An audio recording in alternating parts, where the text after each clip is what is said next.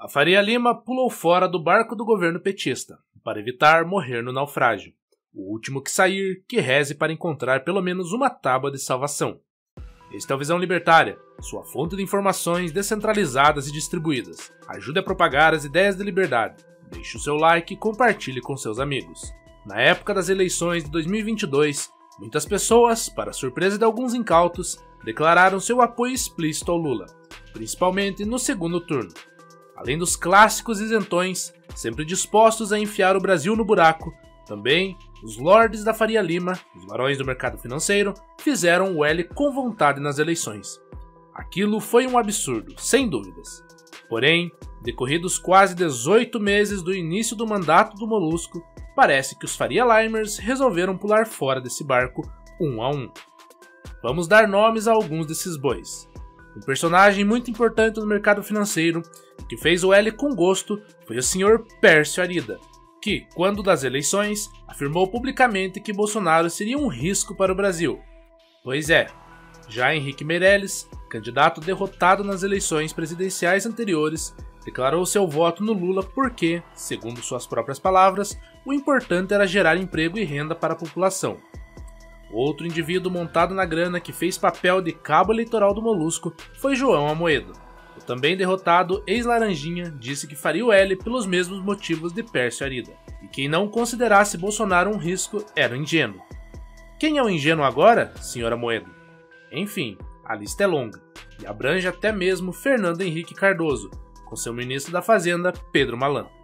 Aliás, vários nomes ligados ao Plano Real seguiram esse exemplo, e cantaram Lula lá nas urnas. Logo após a vitória do Lula, magicamente parecia que tudo ia dar certo.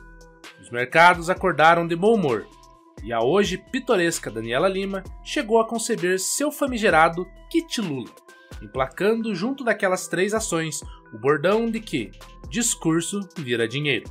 Eu sei, essa frase envelheceu como leite, mas vamos nos ater por hora ao passado. Na sequência, Armínio Fraga, outro que apertou 13 na urna, realizou uma entrevista telepática com o Lula já eleito, na qual o Molusco se comprometia a controlar a inflação e cuidar do lado fiscal.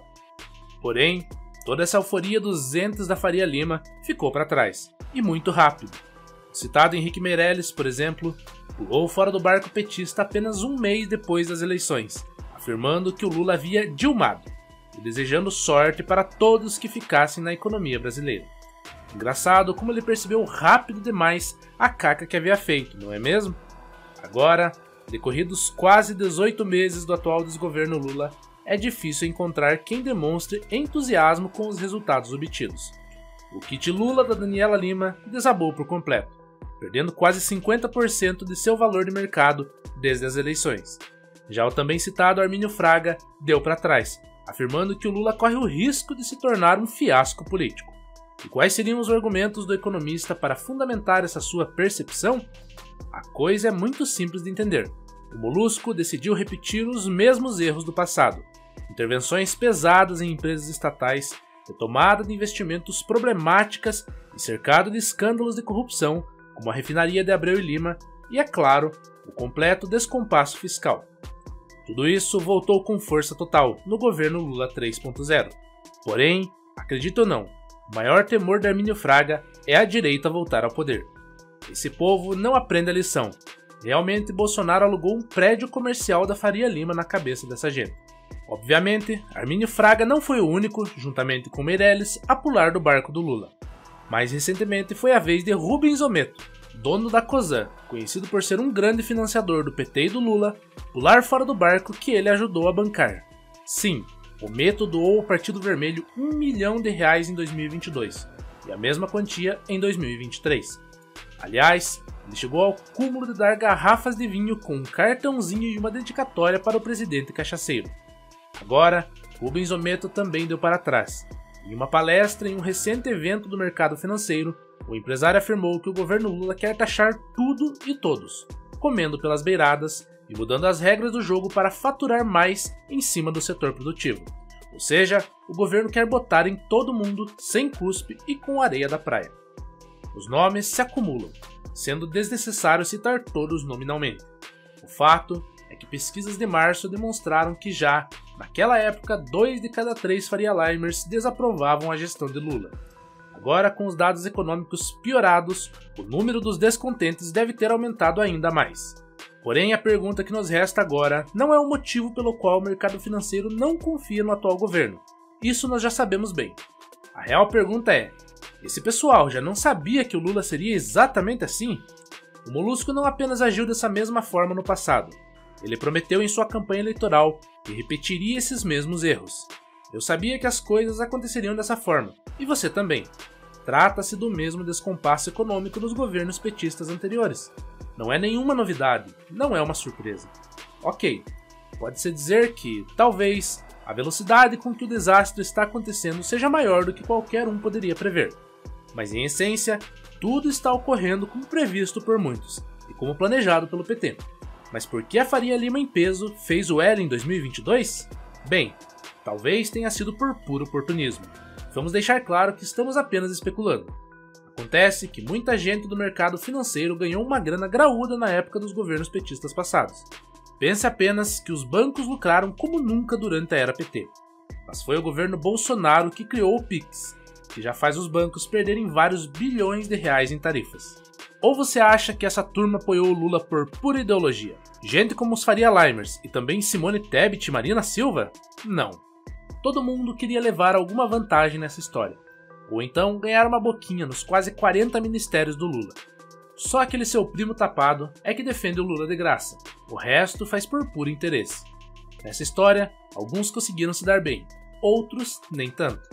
Essa é uma tendência que, inclusive, foi seguida por grandes empresários brasileiros, gente das grandes varejistas, os industriais, os campeões nacionais.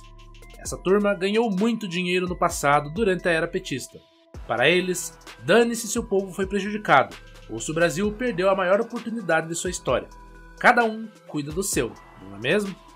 Só que agora deu ruim para essa turma também, todos já perceberam que o governo Lula vai ferrar com todos os setores econômicos. Vai sobrar para geral. Os chineses já estão trocando a soja brasileira pela americana. A MP dos créditos de PIS e COFINS, ainda que já tenha subido no telhado, iria causar um rombo no caixa de indústrias, das distribuidoras de combustíveis e dos exportadores.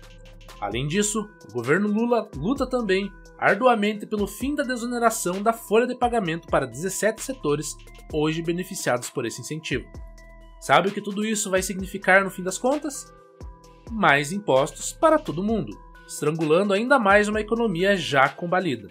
Ou seja, estamos testemunhando a repetição dos mesmos erros do passado, só que num ritmo ainda mais rápido. Tão rápido que talvez essa turma toda que fez o L de forma inconsequente em 2022 não tenha tempo suficiente para salvar seu patrimônio como foi feito no passado. Também, eles são testemunhas da tragédia econômica que se desenha no horizonte do Brasil. Em outras palavras, agora a água já bateu na bunda da Faria Lima. Por isso, é sempre importante lembrar que foi por conta desse tipo de gente que Lula venceu as eleições em 2022, por causa dos isentões que fizeram o diabo para tirar Bolsonaro do poder.